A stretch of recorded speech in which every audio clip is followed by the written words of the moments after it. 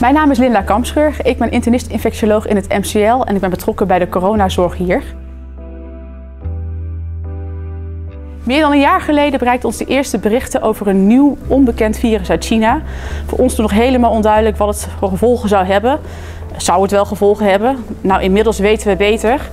Uh, heel veel patiënten wereldwijd, ook hier in Nederland. Uh, en het raakt iedereen. De maatregelen om corona in te dammen raken de zorgsector, het bedrijfsleven, scholen, iedereen. In de Medische Publieksacademie informeren we u over de huidige stand van zaken. Wat is het virus? Kunnen we het nog wel aan hier in het MCL? Wat zijn de gevolgen van de nieuwe varianten die opduiken? En hoe zit het met het vaccin?